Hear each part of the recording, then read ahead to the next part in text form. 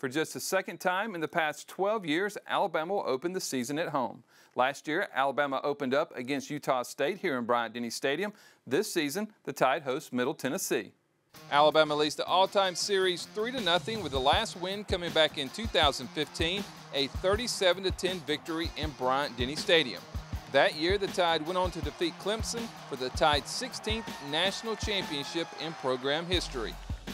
Rick Stockstill, a quarterback under Bobby Bowden at Florida State, leads the Blue Raiders program. Stockstill enters his 18th year as he's been the head coach at Middle Tennessee since 2006. Last season, Middle Tennessee had one of the best seasons in program history.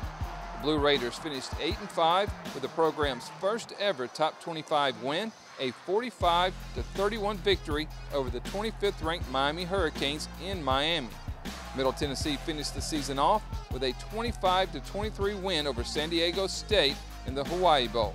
Rick Stockstill's been there for a long time. He's done a really good job. They got a great offensive scheme in terms of how they do things and problems that they create. Uh, so it's going to be challenging from our players from that standpoint. Middle Tennessee likes to throw the ball a lot as they run an air raid style of offense led by quarterback Nick Vattiato. Vattiato was voted to the Conference USA All-Freshman team and was named the Bahamas Bowl Offensive MVP in 2021. He played in two games last season, getting the start in the win over Charlotte. The top three receivers from last season are gone, with DJ England Chisholm being Vattiato's top returning target. He's a deep threat receiver who finished with 366 yards and four touchdowns, averaging over 15 yards per reception. On the ground, the Blue Raiders returned their leading rusher from last season, Frank Peasant. Peasant finished with 774 rushing yards with nine touchdowns, while also adding 28 receptions for 286 yards and a pair of scores. On defense, the Blue Raiders lost a couple of their big stars from last season, but returned their leading tackler in safety, Trey Fluellen. They play really well. They get a lot of turnovers, um, but they create a lot of pressure. Um, they're a pressure defense, and they put a lot of pressure on their secondary and their corners have played very well, whether they play off or man-to-man in press. Uh, their safeties are very aggressive and make a lot of plays.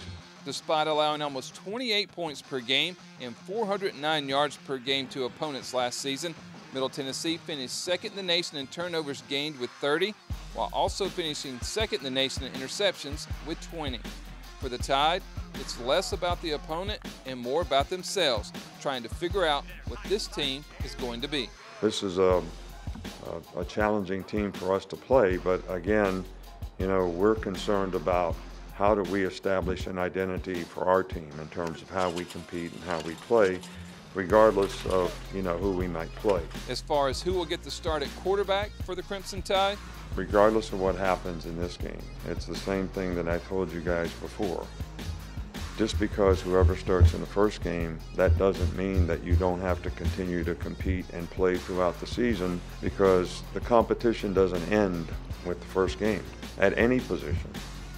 The weather should be great to kick off the season in Bryant-Denny on Saturday. The high is forecasted to be 83 degrees on Saturday with a less than 20% chance of rain. Kickoff is scheduled for 6.30 on the SEC Network. Reporting from the Crimson Tide Production Studio inside Bryant-Denny Stadium, I'm Christopher England with Tide TV.